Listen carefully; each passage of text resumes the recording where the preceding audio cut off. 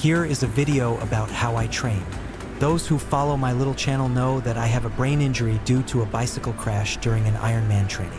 So I'm not saying this is by any means the right way to train, it's just what works for me right now.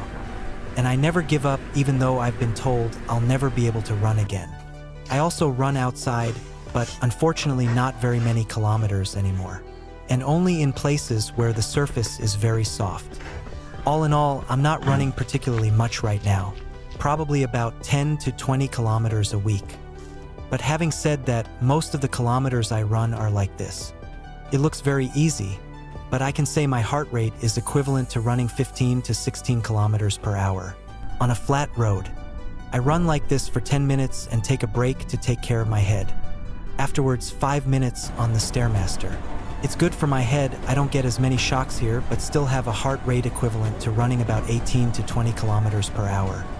After a break of 2 to 3 minutes again to protect my head. Then I'm going for a run on the cross trainer. The only thing that matters here is to get speed in the legs. Afterwards, a truly disgusting machine. 5 minutes with plus 350 watts. I used to be a pretty good bike rider, but I'm not anymore. When I'm done here, the thing I'm most looking forward to is coming. Tempo training. I have about 200 pairs of running shoes and love to pack my big backpack with four to five pairs and test them against each other. And I don't care what other people think the different shoes should be used for.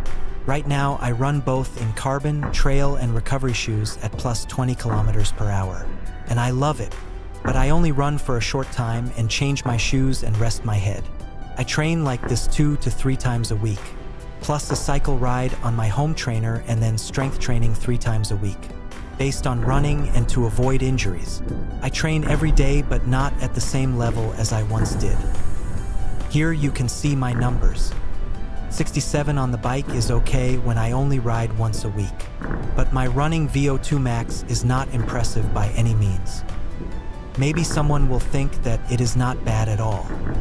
Perhaps it isn't either when you think about my age and my circumstances. But one of the things I've always done is to compare myself to the best even though I wasn't one of them myself. Too many compare themselves to ordinary people, which is super fine. But that is often the explanation when they cannot understand that they cannot run faster. Often the same people have far too many excuses. Uh, it was windy and it was too hot. Therefore, I could not run fast. No, that's not why. It's because you have a weak mentality. You already lost before you started running. Yesterday, I had to test a new treadmill, and my goal was to run 10 kilometers. For I had taken good care of my head in the days leading up to, but I was simply too weak, and so I could only run 9 kilometers. I could come up with all kinds of excuses why, but you can't use it for anything. Yesterday, my mentality was too bad, and I only have myself to blame for that because my head was so optimal under the circumstances I have to live with. But still, I just wasn't good enough and am very disappointed in myself. But I also just have to accept that we have good and bad days. The most important thing was that I didn't get such a headache. I hope every day that I will get better and one day have the opportunity to run a marathon again. I don't need to run fast, but if I could just run under three hours, I would be happy.